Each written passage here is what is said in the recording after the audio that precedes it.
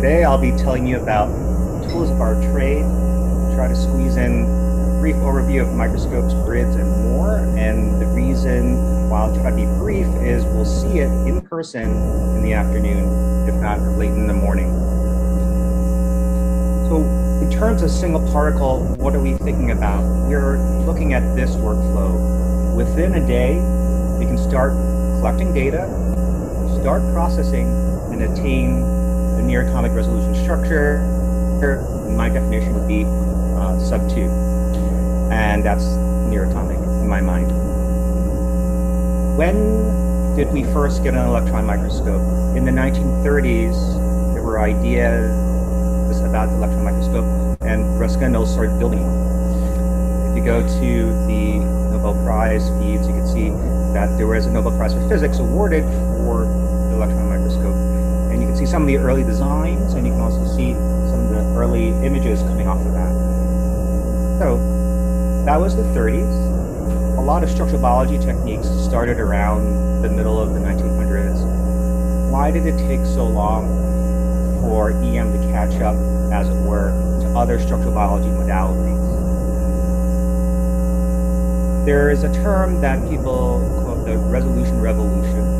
And the idea is that not until a time period or a certain event did EM um, really break a barrier that became useful for structural biologists. And that in the early 2010s with the direct detectors. There are a lot of hardware improvements that came along with that. Microscopes were more stable, computation got cheaper, but the direct detectors is noted as one of these watershed moments to really take an existing microscope and extend the capability. Now, it's not just direct detectors alone, not just hardware alone. Software was very important. Automation started coming in to make use of the direct detectors and be able to shape how you're acquiring images and collecting the data, and also processing that in a streamlined workflow. Joachim sort of touched upon the early package that he made, Spider, and uh, the idea was that it was modular in the sense that you can go in and out of the workflow depending on what you're trying to do. It is not known that one module is the best module for you to use. As software development has proceeded, there are certain uh, workflows that are very useful, but may or may not be optimized for your uh, research. But what can we do with the combination of this hardware and software? We have been able to extend and approach certain resolution regimes we would have not otherwise, as well as been able to tackle problems that are more complicated. You may have heard about the GPCRs not too long ago. That, in that terms of data collection, required a lot of images, and only a few of them were used in some of the maps. It's not to say that if 5% was used in a particular reconstruction, the other 95% are garbage or particles that are wanted, so to speak. It might just be for their biological question, 5% was what they're going after. In terms of identity, you might have run mass spec or an SDS gel. The other 95 could be the protein of interest or a macromolecule of interest. It could be just in the conformation, or it could be a complex falling apart that we can't really discern. Now, some programs have been trying to attempt at that, for example, ribosome biogenesis, where you actually have different complexes in the stage, in different stages and different populations. So then that's trying to get at the other 95%. So if your resolution is only the criteria you use, that's where you might you know, not use 80% of your particles and concentrate on 20% or 10%. But if you're after transition states, biochemistry pathways, you'll have to start addressing this other group and how do you interrogate that? Joachim also alluded to a little bit, and I tried to prompt him manifold embedding. So what happens if you just don't have one conformational state or two conformational states, which are pretty easy to sort, but a continuum of conformational states? And that becomes a lot harder because we'll have to start binning your data and you'll need a lot of data to get the statistics. So then these are our questions before us. We want to also be able to have interpretable models and have a gallery, something like this, that is not only pretty to look at, but informative. And we also want to extend it beyond macromolecules and go in situ into a cell and do the same thing. Now, to know where we're going, we know, need to know where we are right now, and we need to know where EM fits in the context within biology. Sometimes you may see a illustration like this indicating that an electron microscope is a microscope. You can span actually atomic resolution all the way to microns, even millimeters with an electron microscope. This figure is not to say that electron microscopy replaces other modalities. It will then highlight where you would want to use them in concert and in conjunction. And also something to make note that although electron microscope can access these resolution regimes, you have to prepare your sample in a particular way. And you saw a little bit of that yesterday. Just because I can prepare a tissue does not mean that I can use that same preparation to go to atomic resolution. Maybe, maybe not, depending on what your goals are. And not only the hardware, but the preparation of your sample will greatly affect the resolution regimes you can achieve. Okay, so we have an electron microscope, that's our tool of choice. But let's take a step back, why electrons? So there are certain pros and there are certain cons pros small wavelength. You can get picometer wavelengths with electrons. And so then definitely that's why we can say we can get atomic resolution. That wavelength is perfectly uh, suitable. Also, it can be focused, which is really good because you want you know a nice focused image, a clear, crisp image. What are certain problems? Well, electrons have a lot of energy and they can damage your sample quite a bit. Also, it has very poor penetration. You, I'll talk about this shortly, but you might notice that we have a, a vacuum in the microscope. If we had air in the microscope and we shot an electron, you wouldn't really get too far, maybe a few centimeters, and you would have a lot of energy dispersed. That would generate a lot of heat, and that could be very catastrophic, if not destructive. Well, it won't be an explosion, but electronics and everything else, it'd be, if you're, uh, your hardware manager would be crying. So here's another illustration of what happens and sort of jumping a little bit. So, this is what someone has looked at. If you go to Grant Jensen's lectures, you can see images of, let's say you're at liquid nitrogen temperatures or liquid helium temperatures, and you start sending electrons down and hitting samples. As you get more and more dose, you get more signal, but you have destruction of your sample. And during the roundtable, we can talk about what's the effective dose or what an ideal dose for EM may be. Some people say you can get into the tens. Some people say, why not collect 200 and you can just data shape it later. And Bob Glaeser has also looked at this. So there's a few uh, references. So all this, all these slides will be posted online and therefore you can look in more into this if this is of interest of what KV, what dose, so now we have electrons, and that's our source. I like to liken a transmission electron microscope in the middle to a light microscope. Our light bulb, as it were, is some sort of electron source. As I said, we can focus our electrons. So we have lenses. Magnets are our lenses, just like glass lenses are useful for a light microscope. Glass can bend light, magnets can bend electrons. We have a sample. So normally in a light microscope, you might have a glass slide. Our sample is put in a form factor of a three millimeter metal mesh. We call it a grid. Some of the older microscopes actually do have eyepieces and oculars, and you can twiddle your magnification, uh, your focus, etc. More of the modern microscopes have cameras both light and electron microscopes also have cameras. So it's just the idea of are you physically looking through your eyes or are you making use of, of a digitized form? But you can see a transmission electron microscope and a light microscope is very similar. So if you understand the physics of optics, then electron optics are very similar. Now, it does get a little bit more complicated because uh, a lens is not one lens, it's a compound lens. So you have a lot more lens coils to make up what we might consider the condenser lens or the objective lens. We have projection lenses so we can put it on a detector. but the four main points I want to get across as we start looking at an electron microscope, and then when you go down to the practical later, is that you have to understand your electron source, vacuum system, lenses, and detectors. And there's actually a fifth consideration, but that's more on the maintenance side. But if you keep in mind these four systems, you can approach a microscope and be better prepared. Most likely, you won't be aligning a microscope. You might not be touching a microscope in particular ways, but you would want to know if a microscope is useful, if it's in a condition that's only good for screening or it's perfect for data collection.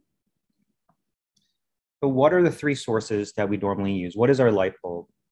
Our sources tend to be made out of tungsten. Tungsten's pretty good because you can heat it up quite a bit. It can go to, oh, over 3000 degrees Celsius. Actually, if you uh, stay and you were inquiring about our gold grid making, we use tungsten as a support to heat up gold and evaporate gold. Uh, but besides this context of tungsten is that we typically can heat up a tungsten filament like a light bulb and we can extract electrons or actually it sends out electrons. There are a couple other categories of sources that people use.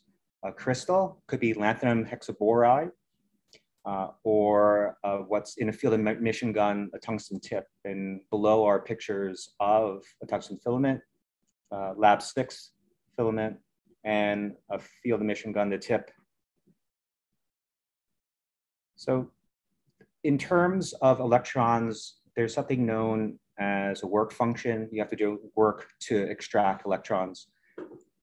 I usually use a rule of 10, maybe a rule of 10 sort of applies. Like, so a tungsten filament, you can, you can use on the order of, you know, maybe hundreds of hours. Um, lab six, maybe thousands of hours. Uh, tungsten field emission guns, maybe, you know, tens of thousands of hours.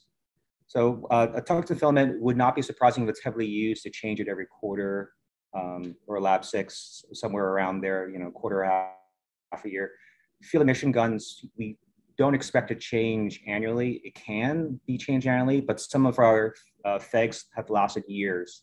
So I would liken it to once a FEG is on, it's always on and you keep it on versus these filaments, you would only turn on when you need it because what you're doing is you're doing work, you're pulling off electrons, and eventually the reservoir will go away. Like a tip, the filament could break, lapse a crystal. Uh, some of them, when we use a completion, uh, the middle figure, uh, it just goes down to almost nothing.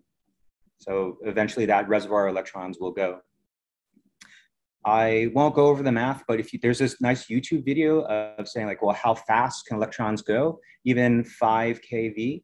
So usually some of our XFEGs are thermionically assisted where you know, we have an extraction voltage of a few thousand volts, and that's already going, I don't know, somewhere on the order of a tenth of the speed of light. I think I, I was quoted that if we're roughly around 200 kV, we're half the speed of light, and um, 300 kV, we're approaching two thirds the speed of light, give or take.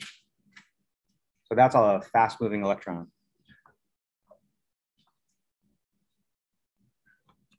We have used different types of acceleration voltages in our microscope. Part of that has to do with price point, maintenance, and also use. Typically, when we're using somewhere along the lines of 80 to 100 kV, uh, we're using a tungsten filament or a lab six. There are now 100 kV FEGs out there. Uh, the goal for these microscopes, they tend to be side entry microscopes. They give you very high contrast. The vacuum uh, requirements for these are a little bit lower, so they are a little bit more robust. Great for training. Uh, one of our microscopes, uh, a 1200 series from JEOL, we've crashed it, the vacuum many times. We've burned out the filament quite a bit. We've actually had oil go straight through the column and it still is pumping two decades later. So it's a really, so some of these form factors can be extremely robust, easy to maintain relatively, and a lot of the parts are off the shelf, we only expect sub nanometer resolution or the way that we uh, have these microscopes because we don't tend to site them in rooms that are like our Krios rooms that we showed you yesterday with an anti-vibration table, the EMI cancellation system, right? But some of these microscopes, especially for material science, can go quite well and can go quite high in terms of reliability and resolution ranges. 200 kV in recent history to me seems to be like a, a workhorse type of kV. You can do quite a bit. You can do data collection, you can do screening. These microscopes can be side entry. A lot more of them now have some sort of multi-loader auto-loader system. Um, FEGS, of course. And the resolution we can get would be you know, sub four. You can aspirationally get even further if it's sited in a good environment and, and you really, really align it. Um, I misspelled Arctica, but the Arctica can go you know, in the twos. 300 kV, this is the instrument that is really widely thought for data collection. The Cryo-EM 300, the Krios is at this kV. Uh, and this is where a lot of the you know, one to three angstrom reconstructions are coming from. And it's becoming more and more routine. I won't know, I don't say that's necessarily easy, but there are certain things in the 300 kV microscope that lends itself to this, and we'll go over that uh, in the afternoon, especially. However, it's not just these microscopes at these KVs. There are one megavolt instruments. There was a one megavolt. I don't know, maybe it's still being used up in Albany. Uh, you know, it was you know at least a decade or a decade, two decades ago, already in existence. Um, Japan, I don't know if this is still in use. They had a three megavolt, right? So you can go quite high in energy, and these are for more uh, particular use cases. They tend to be more on the material side, but also some people that are looking at very, very thick samples because you have more energy, you have more penetration, but you have all, also more uh, electron radiation damage. So it's a balance. So then why was a particular KV chosen? There are compromises and there are certain reasons for it, but don't think that there's only one KV uh, out there and there's a, a full range. I mentioned vacuum a little bit. And so this goes into discussion. So we have our electrons going really, really fast. Why do we need the vacuum? Well, our you could sort of think of it as imagine you have a light bulb. Some microscopes would be tantamount to everything put inside of a light bulb. So if your filament electron source and detector, et cetera, is in a light bulb, and you break vacuum in a light bulb and you turn it on, you still will have light. It just might not uh, last that long. It will probably burn out really rapidly. So one thing would be to ensure uh, our source would be to make sure we have a very good vacuum. Um, and here's the calculation. So beam coherence at, you know, we have a normal electron beam going through uh, air, uh, yeah, you probably can't get through more than a centimeter but in vacuum, we can go meters and we don't have too much change in the electron wavelength or energy. So also there's a situation where we put our sample in the microscope and we want to limit contamination. All right, so a vacuum can help with that. It also provides insulation. For our particular samples, we want to be at cryogenic temperatures, uh, and that becomes a challenge to maintain a vitrified state all through. But we need a vacuum. How do we achieve that vacuum?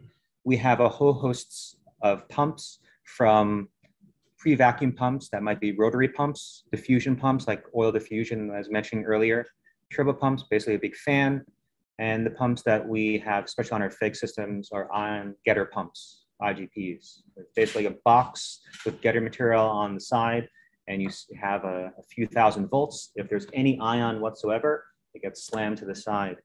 But that doesn't work if you have air because you have too many ions, you would saturate your pump.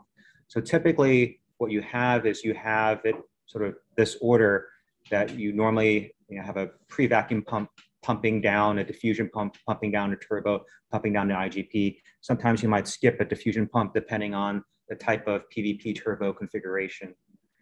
But that's very important because if the vacuum state is not known, you don't want to use the microscope.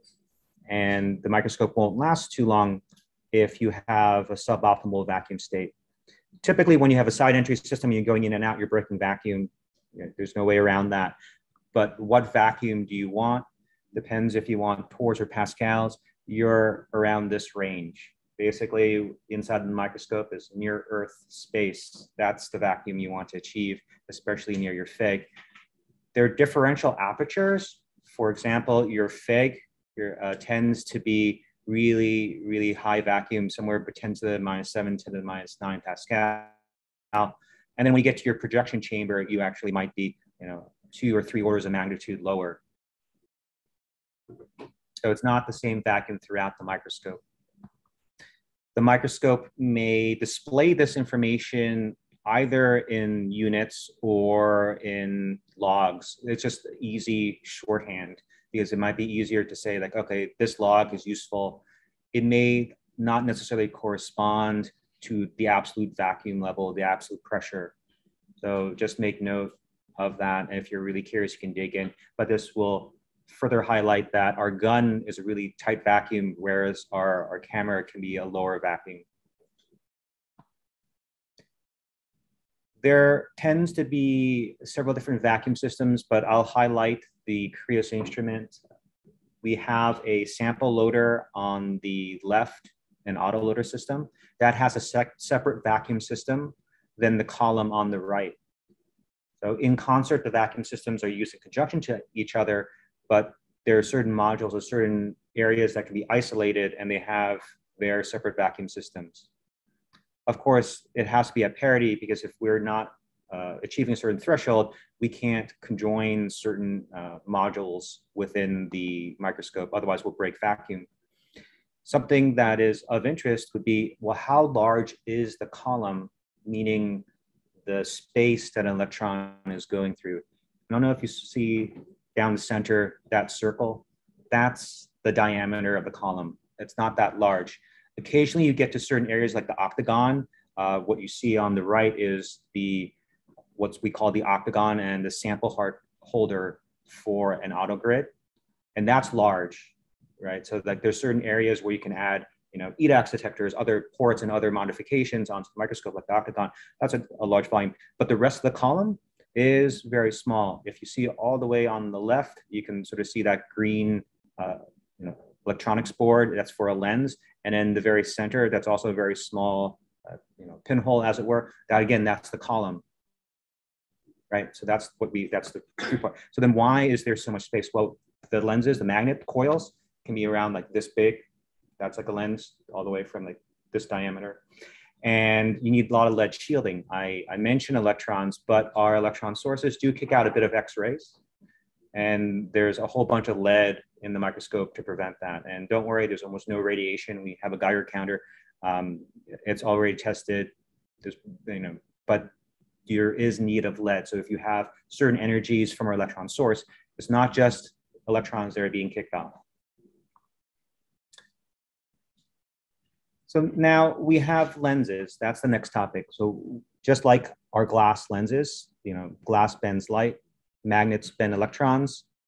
Our lenses can focus, magnify, but they also rotate the image. So think about the right-hand rule. You have an electron going through a magnet and that's why you may have noticed your electron microscope has set magnifications. It's not a continuous magnification microscope. It can be, but that's more for ease of use because if you're looking at your image and you have an intermediate mag, it can actually be rotating. And so that's why we have set mags that we can then see that it's more or less roughly aligned. So there are extensions of that you depending on where you're projecting you might have a different lens series on certain microscopes and you just might want extra lenses if you're doing some technique development. During the afternoon i want you to really interrogate your instructors and go over uh, the microscope parts. Microscope alignments will come we'll also have some uh, some time on thursday but the idea would be when you get to the microscope, what is your responsibility? What is an operator responsibility? What is staff responsibility? some facilities you get a compass to all the above and are expected to be a super user. So then uh, lenses are the, the main um, area of the microscope that you're interacting with really when you get to the microscope. Uh, trying to align it, which you might not actually be aligning it, you might just be conditioning it. Usually there are several sets of alignments. There's a factory set of alignments, there's an engineer alignment, there could be a couple engineer alignments, and then there's you know the, you know, the supervisor alignments, and then there are the direct alignments. But therefore, what people call alignments could actually not really be alignments because it's already aligned. You're just trying to make sure that the beam is going down the optical axis and hitting your, your detector. So it's more, depending on your terminology, could be conditioning uh, the microscope for use. And the idea is you want to go from top to bottom, from your source all the way down to your detector. Uh, there are certain things uh, that are advantages for configurations and packages. Uh, we have a whole bunch of apertures. We have to uh, take note that there is a condenser lens, but then there's a condenser aperture. There is an objective lens and there's objective aperture. So some people get confused when you're pointing at the aperture and talking about the lens and vice versa. Usually when we're talking about um, doing some of the alignments, we're putting the aperture, centering it, and making sure we reduce stagnation. Depending on where your crossovers are, your crossovers might not be exactly at the lens or your aperture might not actually be at the crossover and you might see something like this, uh, fringes, Fresnel fringes. There is a modification, especially in the objective system, where you can modify the objective such that the crossover is directly through that beam path, and you might hear it as fringe-free illumination, and therefore you you don't see these sort of ripples, and you can collect closer to it, you, or more data closer to the edge is useful, and you can shrink your beam smaller and smaller size. One way to get around it is you just expand your beam and the ripples are so far away from the center. However, then you're burning huger swaths of your specimen. But whatever you do, make sure there's a way to undo. you, uh, you want to be careful when uh, certain things are permanent and take pause for that. I would have to say the biggest worry for an electron microscope is environment and that's temperature. When I was giving a tour, I was alluding to we don't want more than one degree Celsius movement per day, no more than 0.4 degrees Celsius per hour. Otherwise, especially when you're trying to reach high resolution, you'll see a lot of hysteresis. Um, there needs to be a particular uh, configuration where your lenses are not too warm or too cold compared to the room. Your lenses can actually condense uh, humidity, even though it's bone dry from the room, and that could hurt the electronics you want to make sure not just the room is pretty stable, the bulk of the heat load coming from the microscope is actually being dumped into a water loop. And your lenses are primarily cooled by this water loop as well as your camera. So the environment also entails that anything that's supporting the microscope and the water loop is, has to be very, very stable.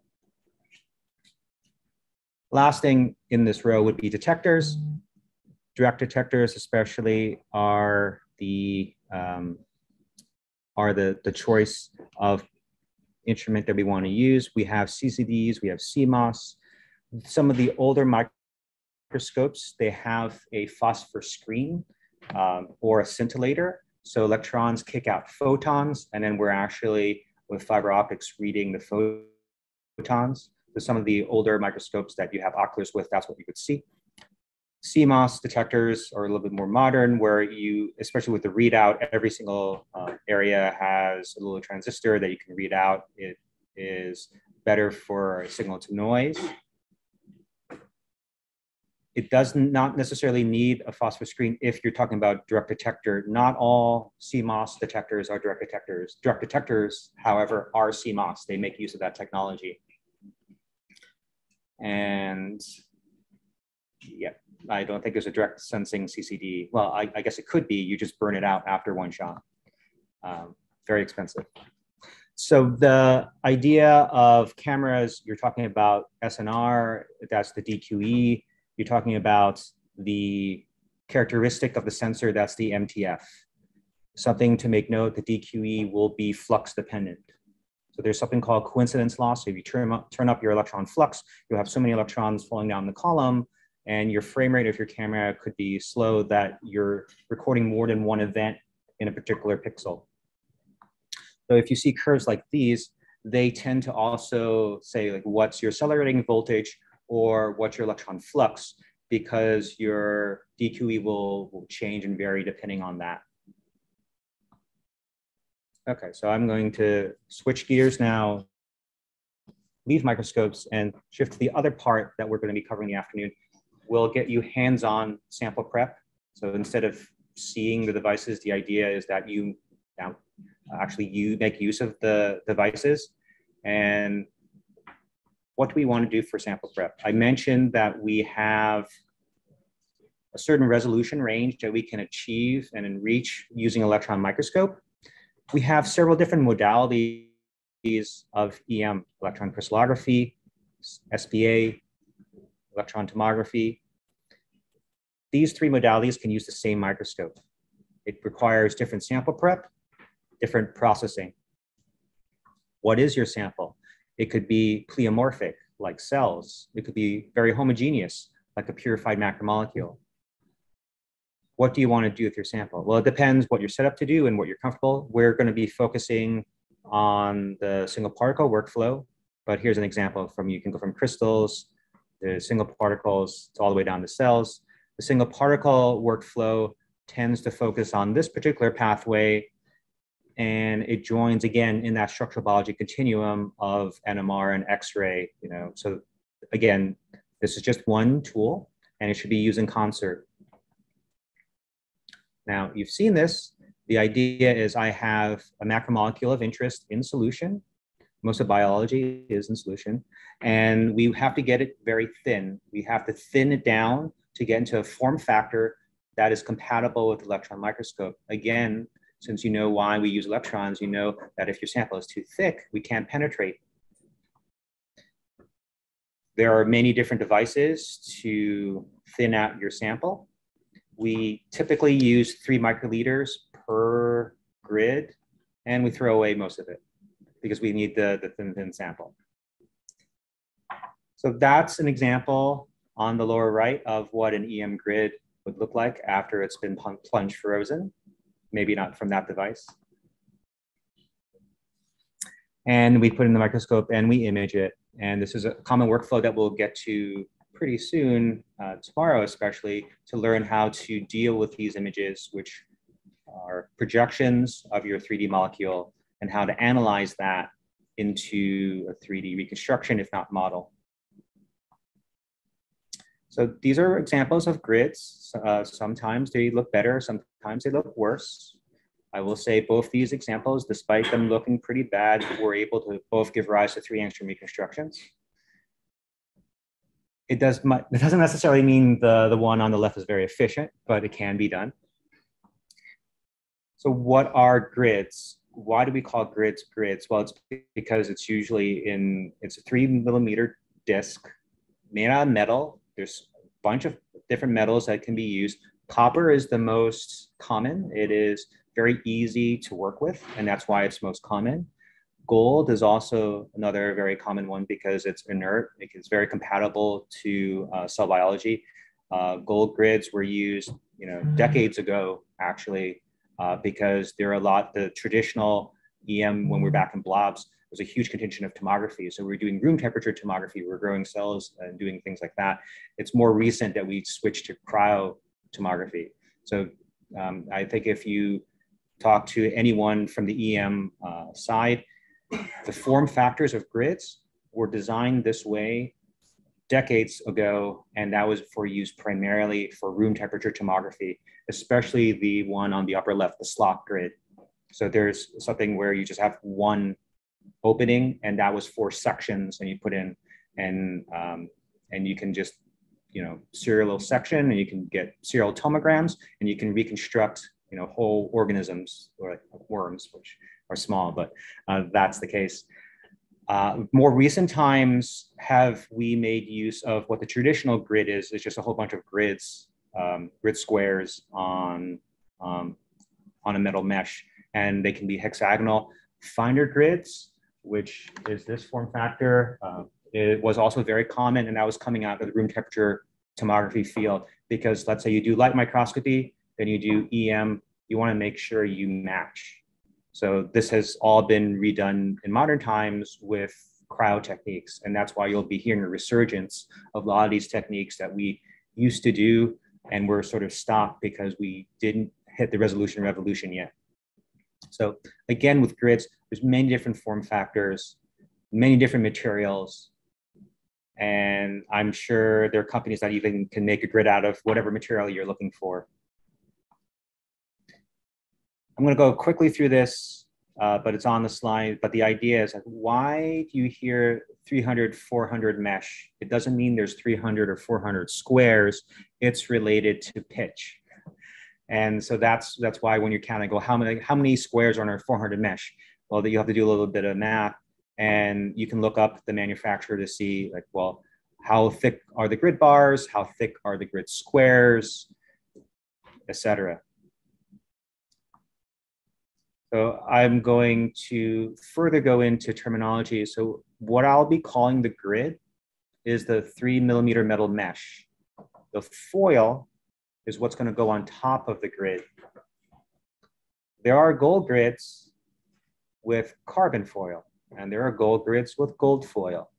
And so you have to be very specific what you're talking about because especially if you're going to particular areas that are doing development, that could vary and that could matter.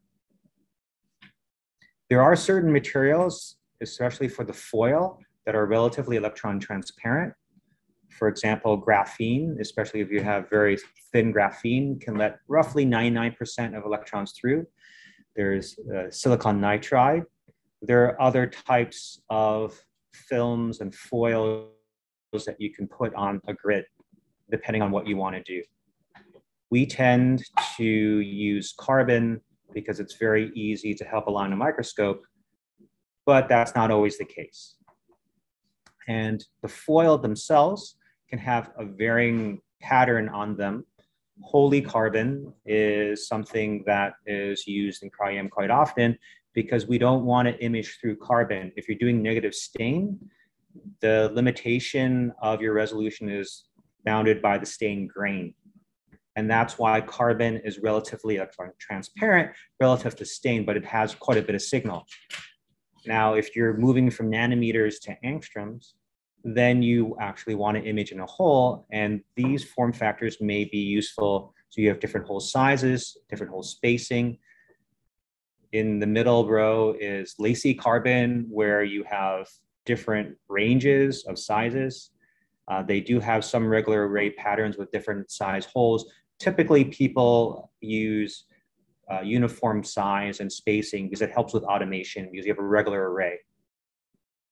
But uh, if if what's in panel B is better for your protein, et cetera, the only limitation is that most of our automation programs don't deal with panel B very well. It deals with panel A, so that you might take the hit of you know not being the best for your protein as long as you collect more images.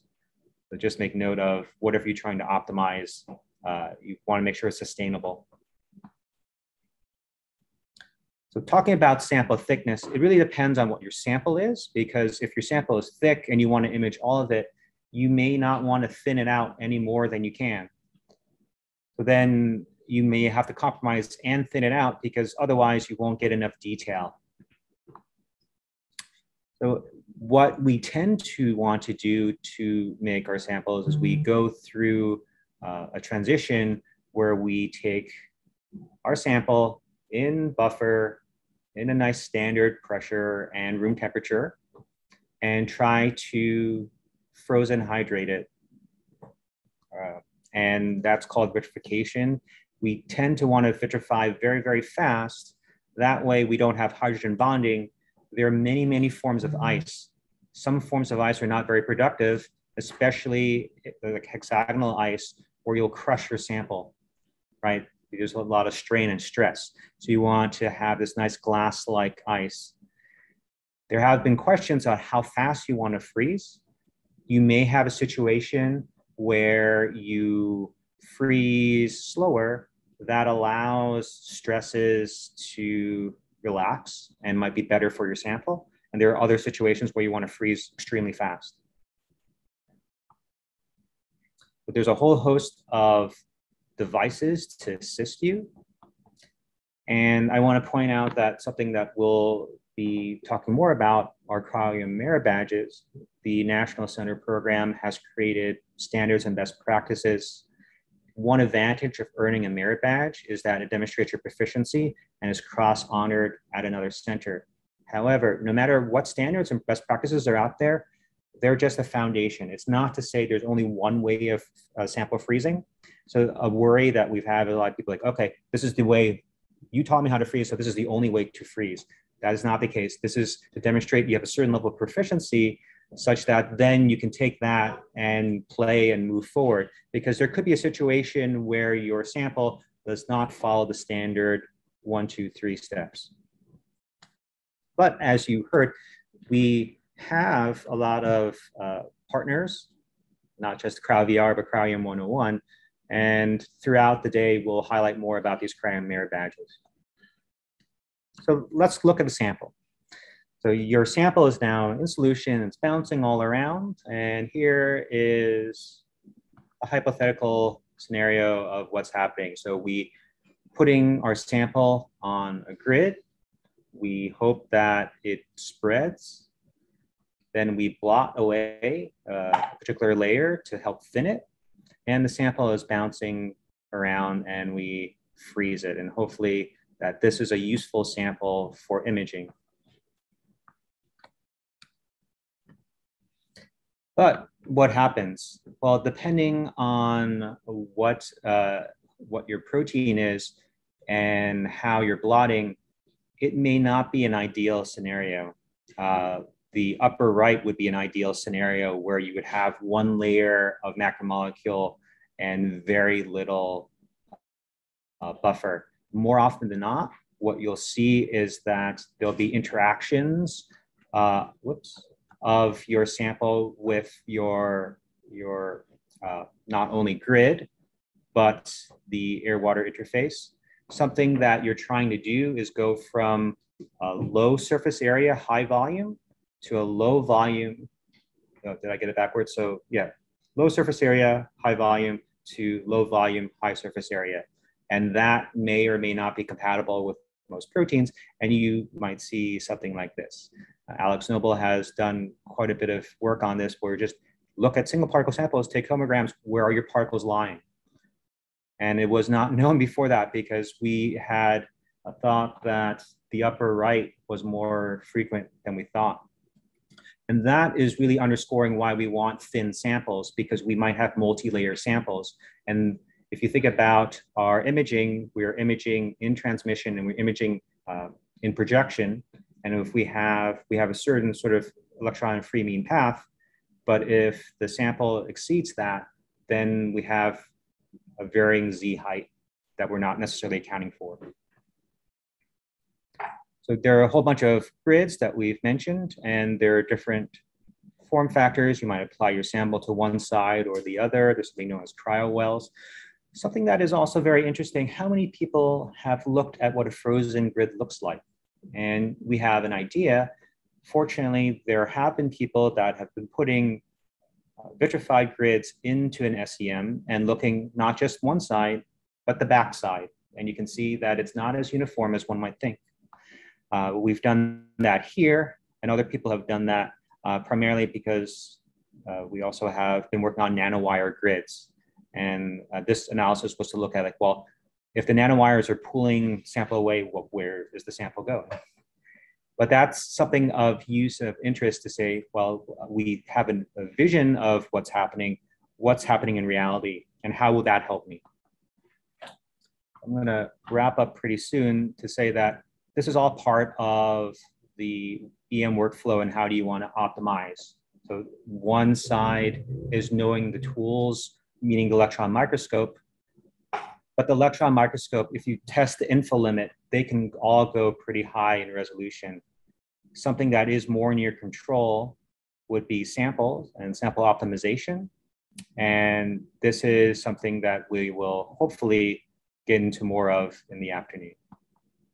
So the reason why I want to end early is that what's going to happen after every lecture is we'll have a roundtable discussion, and hopefully this will open it up. We can talk a little bit about the resources we have here, but the idea of the roundtable would be making use of EM resources. This can extend to a discussion of anything I've talked before, but the reason why we're in a unique position, you can see we have a regional center, national center, and an international outreach all in one location. So in some terms, um, we are the, the regional center from some for some national center users locally. And how is that interplay being done here on a small scale, as well as what may come into play at your home institution? So, but before I get into that, anyone have questions on particular topics that I just briefly covered? The reason for covering these topics is that when you go into the afternoon and you start interacting with your instructors, you have talking points and you have uh, things to be curious about. Uh, the instructors are really there to help and they'll, they'll try to show you certain things. But if you have more focused ideas of what will be useful, it'll make the whole experience better. Any questions? Yes, here. On the previous slide, what is the cube? A cube is a tabletop SEM. And it's great for looking at grids. We, we do quite a bit of technique development in terms of uh, grids and grid foils, and you want to now analyze that. This cube uh, is literally tabletop, which will be about this size. Uh, you might have seen it, it's right across from Spotiton and that's that. Uh, it also, so that small little door is the chamber since it pumps down really fast. It also has an EDAX detector. So let's say you want to know, um, uh, let's say you're doing graphene grids or you're doing metal coating, you want to know your coverage, you want to know a little bit more about what's going on. This can give you a hint of that. Uh, most of our microscopes here are not set up for elemental analysis, et cetera, because it's tuned for biological samples. Um, this is more on the material side. But especially if you're trying to go after more unique form factors of grids. So we make gold grids here, we make graphene grids, we also make continuous carbon. We do a lot, lot of things here. Uh, and that's why that tabletop SEM is really useful. Screen, uh, screen like, yeah, if you make graphene grids, you want to say you want to see how thick your gold is. You can always turn it on an angle, and you can see how thick your gold is. Um, you want to have outreach with uh, students and they can bring in bugs. You can, you can gold coat them and you do like, so it's, it's an SEM. It's really good. It just looks at the surface, but uh, there are fun things to do with it, but there are also real research things that we do uh, day in, day out. But this, the cube is one of the best outreach tools for microscopy, especially for K through 12 STEM, because you can just bring in whatever off the street and like, oh, can I look at this? And I guess we can look at that uh, here's microscopy. Now let's get into what you can use that for in terms of biology. So you, that's a sort of a segue, and that's very useful. And that's the whole point. You can sort of see this course where we, we're doing this quite often, where we introduce a topic and we try to get you deeper and deeper and deeper. There has to be a hook. Um, and I would say, in terms of teaching and analysis, the cube is great, but most people care about the top row. So kind of K through 12, you go from that cube SEM well, you, into Yeah, of course. That's a that that's the workflow. uh, there might be a few more steps depending. Uh, but you never know. We, we've we've had a few beginners that uh, sight unseen they plunge froze a grid and they're just magic grids. Um, so uh, sometimes you'll take luck. Maybe it's skill combined, but luck and skill together, dangerous combination. Uh, Suzanne. Yeah, just one question. What is actually really the difference between the nano wire and the regular grids? Are they made like, because wires usually like pulled, right? Uh, so, uh, so, so we, it's made differently. The, there's a protocol that's already published. So if you use ammonium persulfate and copper, the, the, the, the solution, chemical solution will interact with the copper mm -hmm. and it'll grow extensions, what we're calling wires and the hairy grids. And so if you incubate a copper grid in, in the solution, uh, these extensions will keep on growing. The longer you incubate, the more they'll grow. And eventually they'll grow so long that they'll, they'll be brittle and they can't handle the stress and they'll just snap. And so the longer you have it, the more dense they will become. So it's a chemical reaction uh, that's How do you interacting with the copper. grid out of that then? It's a pre-made grid. So you get a copper grid and then you dunk it in the solution. nanowire on it, okay. No, you put in the solution and they grow. Uh-huh. Figure out the film on the grid itself, the, the, the carry films on the grid. So they're actually made out of the grid bars. So you, you take a copper grid, you dunk it in the solution and uh, they interact with the copper grid bars and Oh, they so the extend the- and they grow. Reaction of the copper growing out. the. Correct. Okay. But like on the chameleon, they have this nano nanowire, they made differently, right? The nanowire grids from the chameleon because they don't look like this. uh, Right. They, they were optimizing the protocol because they're trying to scale it. So uh, versus, so it's the same idea, but they probably have made some efficiencies to make it mass producible. So there's certain things that you can do. Uh, I would say, like, let's say you do tissue culture and you, you know have a plate. That's a little bit different than if you say, like, okay, now I want 10 liters of it. It's like, well, okay, well, I, I can do mini plates, or there's different ways of scaling. Uh, can you grow grids uh, or cells in suspension? And that's a very different protocol, but in the heart, it's the same uh, components and same idea. So the idea from scaling and manufacturing process, uh, you have to ask the company how how they do. They've decided to do less sparse nanowires, and I think that's easier for them to control. Um, but it's more matched to their device too, because the device, the Chameleon protocol is slightly different than the Spotiton protocol, and that's why the grids are not interchangeable. They have to be matched per device. And what's the advantage of the nanowires? I, I think Chase used them to wick, right? To- The nanowires are only useful because you don't have to use blotting paper to thin out samples. Because they wick. They wick, yeah, okay. right? So this is an alternative form. It's called blot-free vitrification. So the normal way you vitrify is you have three microliters and you come with something, whether it's nitrocellulose, glass, uh, fiber, or whatnot, and you, you slam it against the side and you, you remove. This nanowires pull. There's another way of doing that, and that's applying very little sample that is just naturally thin and vitrifying. Like there's these, uh, uh, what do you call it, PDS chips um, that are a spray. And then the, the other way would be a cryoWriter where you have a capillary and you just apply a very thin film and you plunge. So there's different ways of it. Yeah. So there's, so there's, I didn't get into that. There's, but there's a field called blot-free vitrification where you don't use blotting paper and create a thin film. The advantage of that is that, uh, again, you're, you're not uh, smashing filter paper onto your grid. Also, the filter paper could be contaminated. Uh, some filter papers have trace metals, and especially if you're working with a channel and transporter, that can be deleterious unless you pre-treat because you, you move on the me- reaction mechanism. Okay, uh, So, um, the pencil papers showing that you get sub two angstrom resolution off of like a few hundred. Um, I guess could you speak to, you need a very good environment. You need a very good sample. Um, so uh, Antarctica, for example, can reach sub two. Uh, you need a, a good camera. It must be a direct detector on that as well. And I would have to say, if you took that sample and put into Krios, what would the resolution be? has anyone done that comparison? I I don't think that systematically no, but my my suspicion would be they would probably even obtain better resolution. I So there's mean- no example where like a lower T is a better use scenario Okay, so this is something that I didn't go through. There's a reason for that. So the the reason for that are our detectors.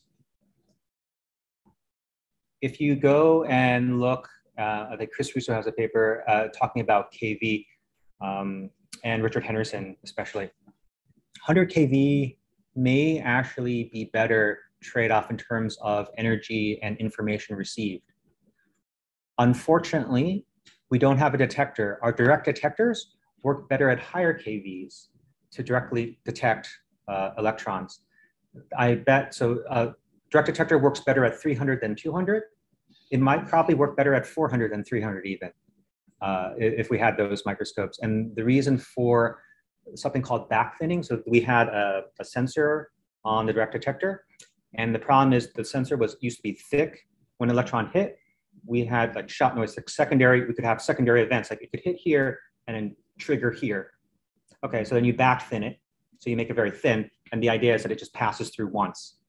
Now, if you get a lower KV, slower energy, then you get into the same idea where it might interact with the sensor because it's going slower and slower, and it's not only hitting a pixel once. So there's something called a hybrid pixel detector. Dectris is trying to make it. It's probably only 512 by 120. I don't know. It's really small right now. It's it's not uh, commercial yet. That is tuned to 100 kV. So there are 100 kV detectors. They tend to have a scintillator on there. So they're not really tuned to 100 kV. Uh, they, there's material that kicks it down versus a direct detector. Um, so the hybrid pixel detector would be able to directly detect at that kV with good SNR. Now, if that was commercial, you may see a situation where a grid would be better at a lower kV now, but it's a limitation of current technology why uh, most likely 100 kV is, is not as high resolution as 200, as not as high as 300, as if you look at the EMDB uh, deposited, because the amount of effort you would need as you go lower KV is very, very high. Um, and you, you're trying to compensate for the lack of hardware. So it damages your sample less, which is probably why there's more information lower energy. That the interaction. But the detectors right. aren't capable now. Also, you would need a very, very thin sample because let's say you're going after a thick sample, it might not penetrate. So uh, there, one size does not fit all. There have been talks about what is the best thickness for your sample, and that can matter. And that could also be impacted by your grid type. You have a different hole size and spacing. There is actually an optimal ice thickness depending on your hole size to reduce motion that could come from the drumming effect or the, the beam induced motion effect from the grid foil itself.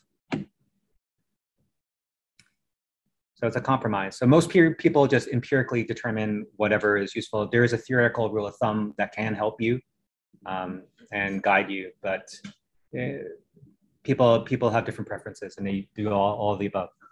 Again, if, if you're skillful and lucky, uh, again, a dangerous combination.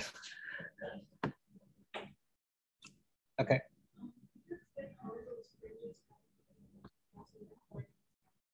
So the so it's like uh, if you if you think back if you uh, had a you know a slot and you send light through because electrons are not just a particle it's a wave. And then when you're going through any aperture you'll see secondary events. So um, the idea though is if your crossover is exactly at that opening then you'll have less interaction with it. So it's not no interaction. So there so even if your crossover is there you, will you'll, you'll still have a little bit because it's not perfect. Uh, but the idea is if you limit the number of fringes such that it's right at the edge, then you can shrink your beam and you can have a larger sensor, uh, or the sensor cover the beam, or vice versa. Uh, but I can show you like uh, if I find a physics book, that might be a, an optics book would be better because like they have the example where they you have something going through one slat, or you have like two slats, and you can see the interference pattern uh, coming from that, even though like it's only going through like one opening, but you'll see the, you know, the other events going through. Uh, again, I'm more a conceptual person. I, yeah, I did do a bit of uh, physics, but I'm, my math is not the strongest suit. Tomorrow, you're going to meet uh, Fred Sigworth, and he will be able to give you more foundational math. And that's why I reserved it for him, because he can explain it a whole lot better than I can mathematically. But conceptually, I can uh, show you, I'm more visual. That's why I'm a crossbows. Will? Or, or Sarah, do you want to go? Um, well, I was going to ask about grid. Uh, my question about energy filters. Okay.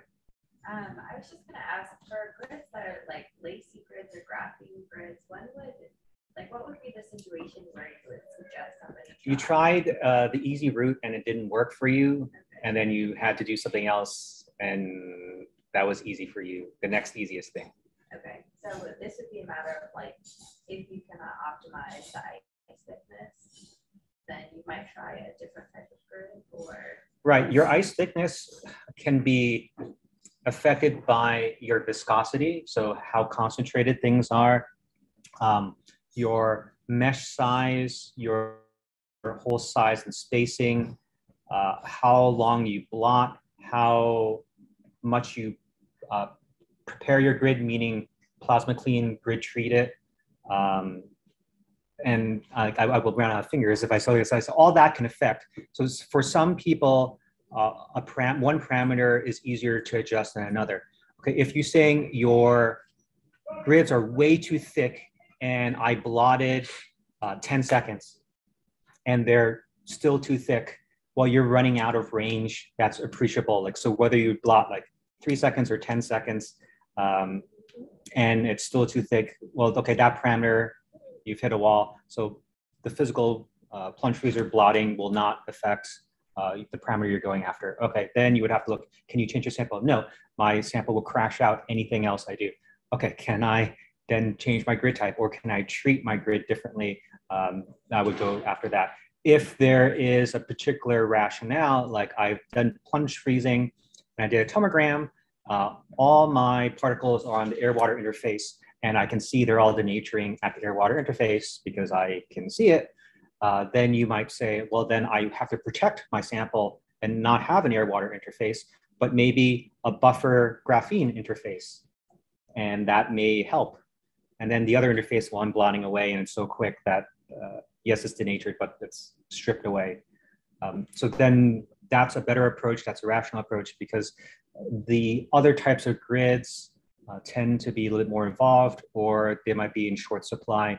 Um, you may have overriding considerations. For example, my facility is set up for automation and I want gold grids. And so, so you could have started your project with edit, whatever grid type, but you say, well, I'm going to choose to optimize with gold grids because my facility can give me you know, 5,000, 8,000 images a day on gold grids. And even though the, you know, like let's say this is 80% good versus 100% good, well, the threefold more data makes 80% good viable enough. So you, that's the other crossover point. Like when do you brute force something versus like, well, I, I don't want to spend a month on the Krios. It's just not economical. I'll, I'll have to work on my sample. Um, so I would say uh, we would try the easiest first. Um, so we have a particular grid type that we prefer, but let's say you have 50 grid boxes of this grid type. I would say I would start there because you have the most resources. The worst thing would be I have 10 grids, they're magic. I use five for screening, it's backward one year oops, uh, I have five more chances to complete this project. And then I'm hoping my next project never needs this because I have to move on. So that's a real consideration. And it's more of a practical consideration that I shift you to. In an ideal world where resources are not an issue, then I would juxtapose um, what makes your sample happy and what gives you high throughput for data collection. Chitara?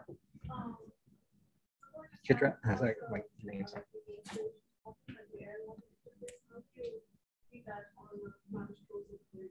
Uh, you wouldn't see it directly. You would have to, most of the screening has to be done through EM. So you would put it in an electron microscope and analyze it. So this is a discussion I briefly touched upon yesterday. Um, I just realized we're recording and no one can hear the questions and I didn't repeat them. So during the, the live stream, it'll be, uh, be a little bit odd. Um, there's no orthogonal workflow for cryo-EM than cryo-EM itself.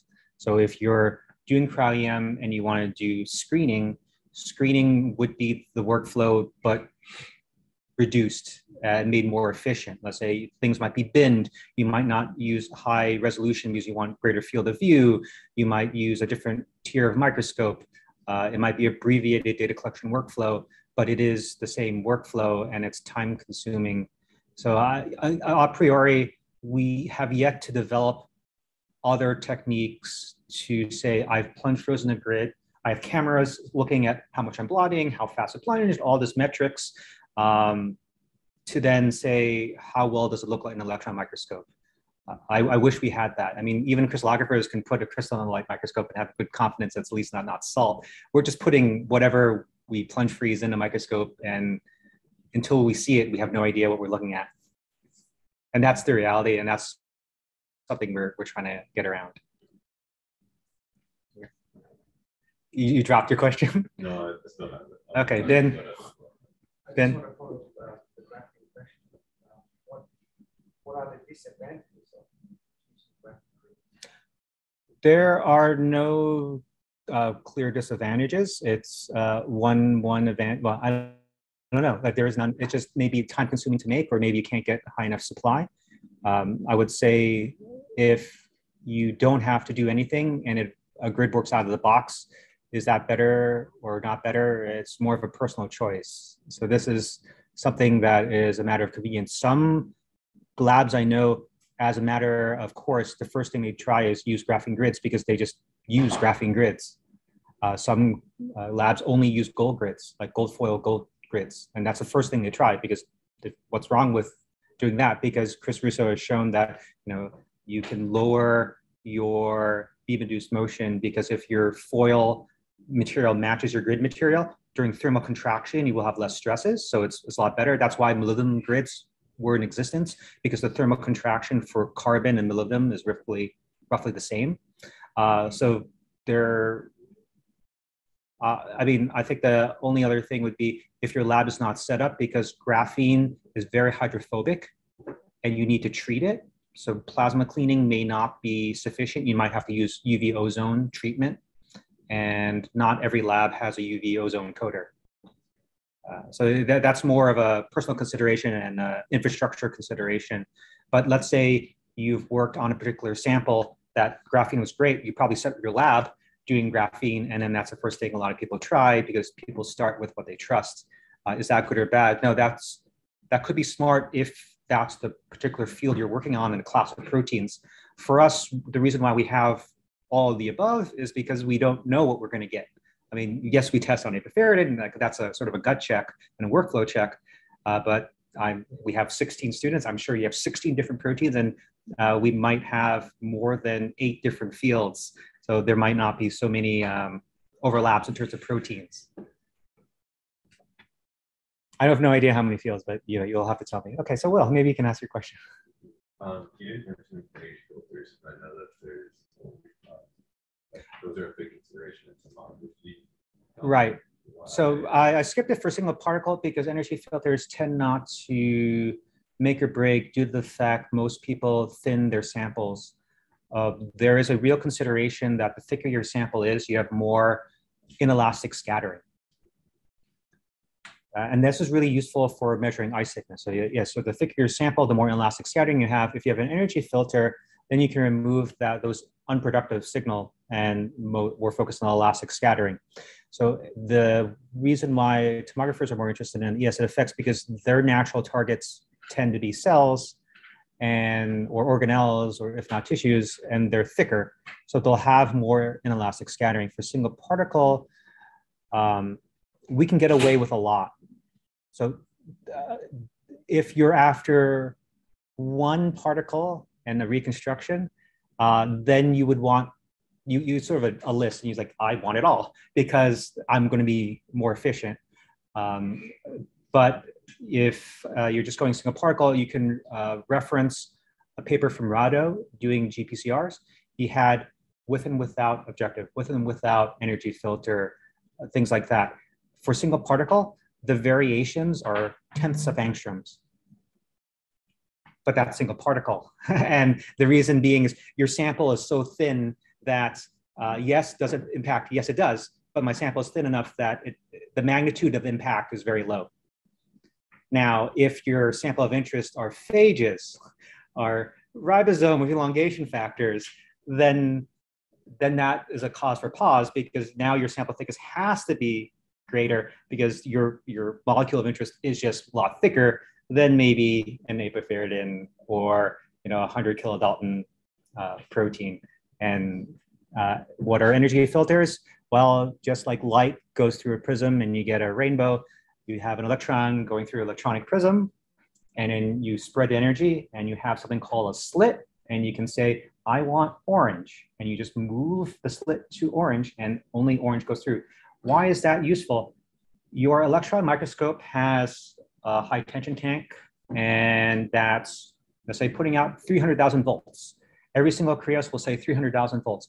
It's unlikely every single Krios in the world is putting out exactly 300,000 volts. Um, and there have been cases, especially the 200 kV paper, uh, where they reached below, they, they solved the CTF uh, correction not using 200. They varied it because their high tension tank might not necessarily be putting out that number. And that will help with correcting the envelope function from that because uh, we didn't get in the map that's going to So like, it's like you think of the, the Fourier transform or the point spread function of a microscope as the CTF. And the reason why EM is a lot better is because you have amplitudes and phases, but when you're trying to merge data and you have uh, you know, different defoci, different parameters, then the only way to merge data properly is to CTF correct. Otherwise, would be lost there. So then if you look at an energy filter, that helps bring your data more into that ideal because you're selecting only a particular wavelength because in that CTF equation, wavelength is a parameter. Uh, and if your wavelength has a bigger spread, not just from inelastic scattering, but because of that, then that decreases the data. But also, why don't we want inelastic scattering? Because if you have different energies, you can actually multiple project your signal, and you may not be able to deconvolute that. So uh, what is a normal energy filter slit width? We typically use 20 EV. Some people use less, some people use more. That's a good rule of thumb. So like 10 EV on each side. And so we have 300,000 volts plus and minus 10 EV, and that's more true to uh, you know, the signal, and we would have better signal, and that would be better data. Another reason why, um, so better data, uh, removing elastic scattering.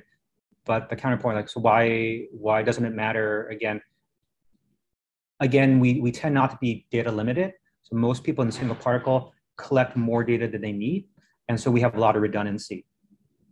So uh, I, I you have to say is that some people like, okay, let's say you collected a lot of data. What happens if you only use half of that for your processing? Would you achieve the same answer? And maybe you process the full data set you know, when it's reviewed, just so you have a better number. But what if you answered everything you needed within a particular period? So energy filters are quite useful. I think in single particle, we can get away without using it just because we're single particle. And yeah, it's just like a prism where you have electron going through an electron prism, you spread out. What happens if you don't put a slit in? Well, just like white light going to a rainbow, instead of just selecting orange, you select the whole rainbow, you get white light back. That depends though that you have to calibrate your systems appropriately, right? So if your lens system is pointing your electron beam left and right, then, then you'll have a problem. But it's all things equal, assuming it's a perfect system, whatever goes in can come back out and you can make use of it or not make use of it. Uh, but some people have tried, uh, the best uh, comparison would be a pre-GIF um, detector and a post-GIF detector. Most energy filters are post-column because it makes it modular.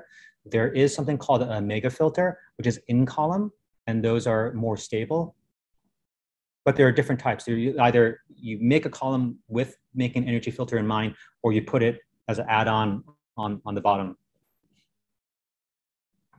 Uh, but if you think of a prism, like when, when white light hits a prism and you get a rainbow, it, it has to bend. So most energy filters, you need at least a 90. The omega filters have a couple bends to, to make it work because you're, you're expecting it to go straight down the column at some point. Is there, pardon? Is there any cost? Well, you, you first have to get an energy filter uh, and that there's a cost for that. But is there a cost for in terms of diminishing your data quality or a cost in terms of uh, if the energy filter is tuned then there should be uh, advantages. If the energy filter is not tuned then okay well then it's the same thing as a misaligned microscope. Uh, but you can always make the comparison. You don't have to you can go through the system, but you don't have to use the slit, as it were. It's not a, a true with and without energy filter comparison, but it's a, uh, it can give you an indication on, on how impactful is it to remove inelastic scattering. It should track with your ice thickness, right? It, the, or your sample, right? So the thicker your sample, the more inelastic scattering, the more impactful an energy filter would be.